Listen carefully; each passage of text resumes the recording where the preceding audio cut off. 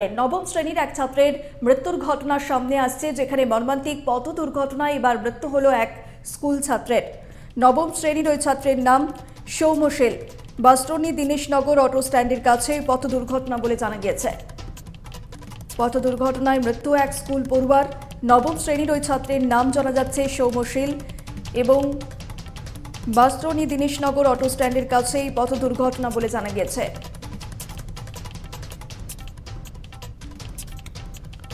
মর্মান্তিক পথ দুর্ঘটনায় মৃত্যু হলো এক স্কুল ছাত্রের।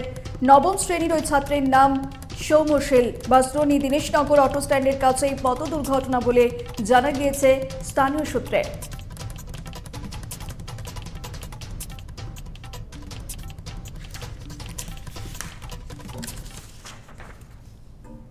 এবার যে খবরের দিকে নজর রাখব